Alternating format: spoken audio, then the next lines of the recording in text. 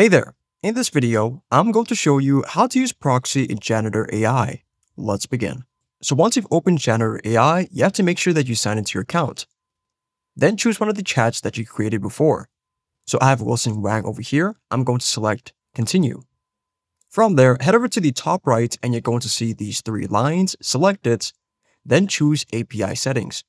So from these different options, choose Proxy and make sure that you choose Custom under Model.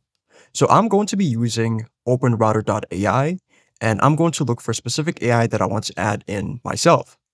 So there's going to be different models in which you can use. If you want to see the models, choose models here on the right. And then some of them are free and then some of them are paid. So if you see this little gift icon, it means it is free. But then if you don't see that gift icon, it means you have to pay and you have to log into your account. But the one that I'm going to be using is DeepSeek.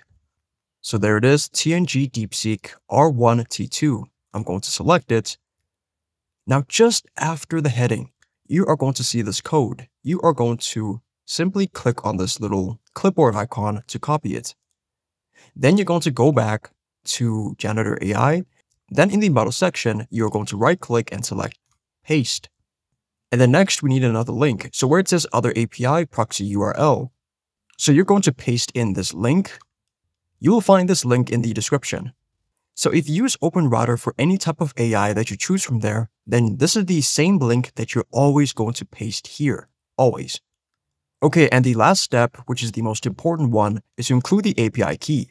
So you're going to go back to OpenRouter, then head over to the top right and hover over your account, then choose Keys.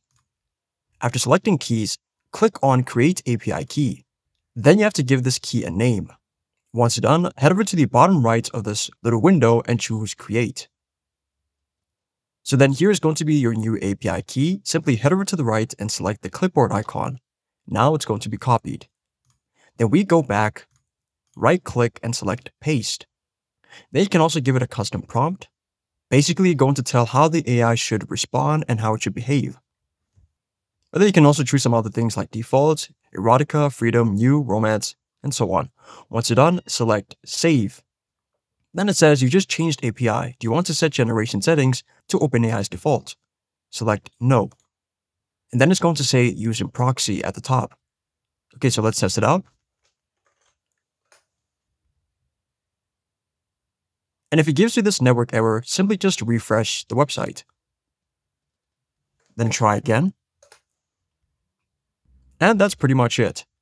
I hope you enjoyed this video and I'll see you in the next one.